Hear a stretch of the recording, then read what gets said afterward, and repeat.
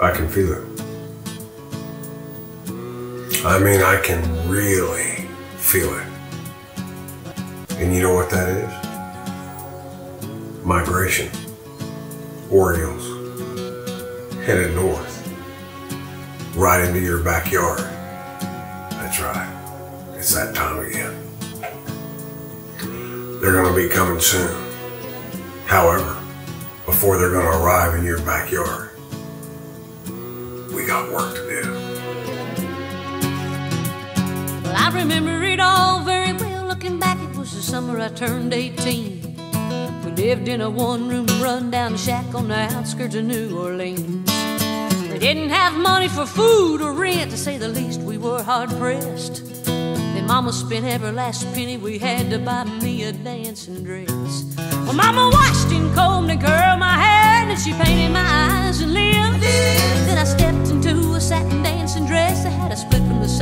The up to my hip. It was red velvet trimming and it fit me good. And standing back from the looking glass, there stood a woman where a half-grown kid had stood. She said, "Here's your one chance, fancy, don't let me down." She said, "Here's your one chance, fancy, don't let me down. Well, we're all done. Oriole Station for this season is all set to go. I love it.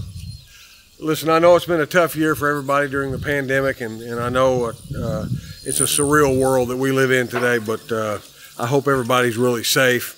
And, and uh, thank God, uh, one of the things I've been able to do uh, during the pandemic is come out my backyard and check out my birds. And, and I'm very excited about the orioles showing up and even the hummingbirds that are showing up around my head I'm excited about. But another thing I'm really excited about is inviting the birdologist to come over and inspect my Oriole station. As a matter of fact, he ought to be here. He's coming in on his helicopter. I can't believe it. He's flying in right now.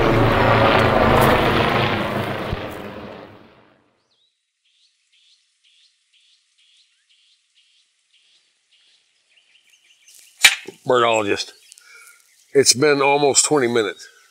How long do we have to wait for the Orioles to arrive? Be patient. Grasshopper.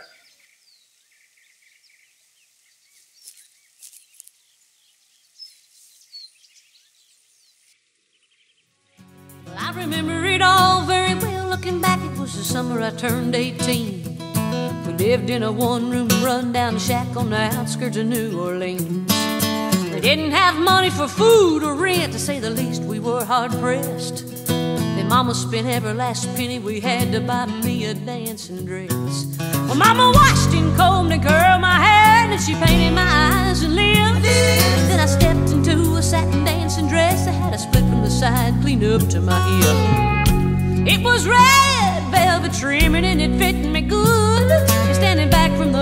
Glass, there stood a woman where a half-grown kid had stood. She said, "Here's your one chance, fancy, don't let me down." She said, "Here's your one chance, fancy, don't